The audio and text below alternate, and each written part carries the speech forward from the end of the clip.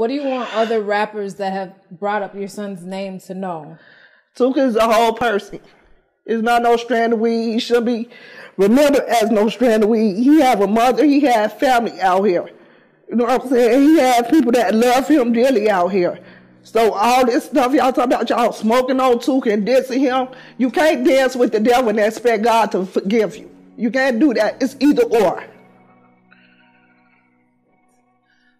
Talk to me about the life of your son. What was he like growing up? Um, Tooka was always, I'll say, he was just Tooka. He was just himself. He, had his own personality. He just had his own way of thinking in life. Like, but he always kept me on my toes, though. That's one thing I can say. My son kept me on my toes all the time. But no, nothing that I couldn't expect to be doing something for Tooka. When did you realize that he wanted to do music? Actually, I found that out maybe like in 2010 when him and his brother and Duck and them used to get together in the basement. And I had found the big old shoebox of lyrics, and I'm like, where this stuff come from? And one day he just recited some stuff. I'm like, boy, you really good, huh? But he never had the chance to keep going and pursue it because someone took his life so sudden. Shondell was 15 years old when he got killed. He was standing on the bus stop coming home from school like a normal child supposed to. On January the 12th, 2011, I got a call from him at 6.08 telling me he was on his way home and I got a call from a detective at 6.14 telling me my son was dead. What was going on that day that he lost his life? Uh, it was like a normal day, like he had got kicked out of school or whatever, and I had went and got him back in school, and he didn't want to go over to school, so my daughter had called me like, Mama, Tooka won't get up to take me to school, so I had to tell him like, Tooka, get up, take your sister to school. Okay, Mom, I'm gonna get up, I'm gonna get up. He got up, took his sister to school, and that was the last I heard from my son. Did you know that there was any issue with your son and anyone else from the neighborhood or other neighborhoods? No, I didn't know that there was an issue. I mean, we did used to get into it. Like, if he go stand on the bus stop on King Drive, we got to worry about the boys from Parkway.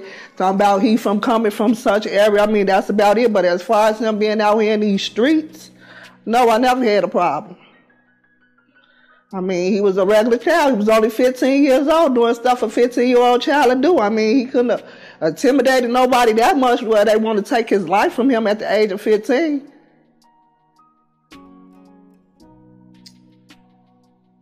How do you feel when you see the impact of your son in, in the name Tooka?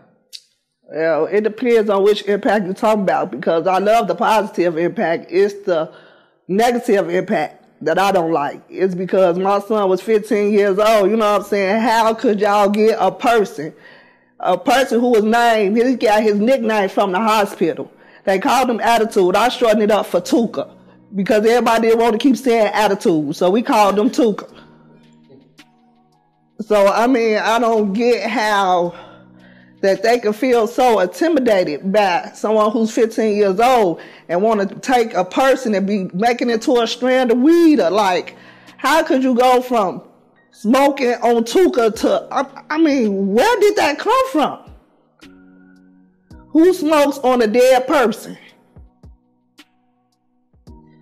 How do you feel when you hear people say they're smoking on your son, Tooka? Oh, makes me upset. It makes me upset because, I mean, where, where do the level of disrespect come, stop? He's already dead. He's not here to do nothing to nobody. He can't intimidate nobody. So, I mean, what is the intimidation coming from?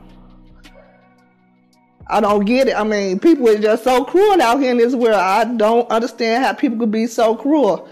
And he was only 15 years old. My son been dead 10 years. And it's like, I still can't get no type of lenient from nowhere. Because every time you turn around, if it's like the upcoming ones, it's the industry, people that's already in the industry. And they don't even know my son. They're just going off of something somebody else said about my son.